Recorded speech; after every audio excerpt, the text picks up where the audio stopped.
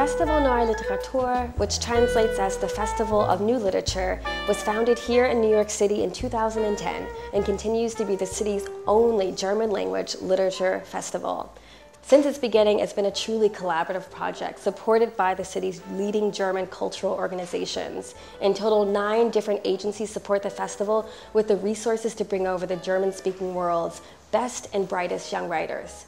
Many Americans are already familiar with distinguished German language authors of the past. Günter Grass, Hermann Hesse, Thomas Mann, to name a few. Our mission is to bring over the up-and-coming generation of writers in German whose works have yet to be translated. Each year, we invite two authors from Austria, Germany, and Switzerland to New York to participate in a series of speaking panels and discussions spread across a festival weekend.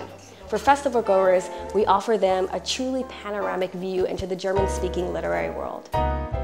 The cast of invited authors represent a multitude of national backgrounds, generations, and heritages, exhibiting the increasing diversity within German language literature.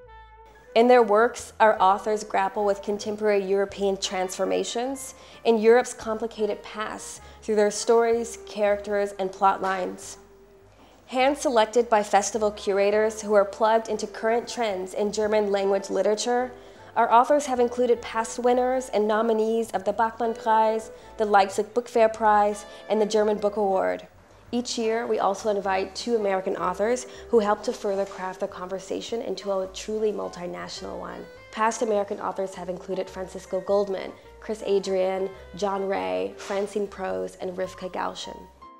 A milestone of Festival Neue Literatur 2013 was the introduction of the Friedrich Ulfers Prize, created for the promotion of German language literature in the United States and provided by the Deutsches Haus at New York University. The inaugural winner of the prize was esteemed translator and publisher Carol Brown Janeway, recognized for her exceptional work and efforts in bringing over German language literature, which is truly central to the mission of Festival Neue Literatur.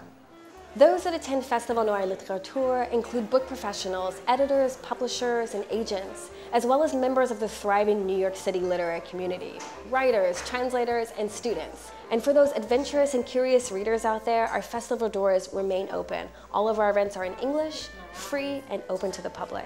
New York Times literary critic Liesl Schillinger wrote, Not everyone can be a polyglot. But reading fiction from other nations provides a marvelous shortcut to gaining perspective on changing worldviews from overseas. Festival Neue Literatur opens a window onto the current view from the Danube to the Rhine, giving voracious readers a chance to update their reading lists and open their minds.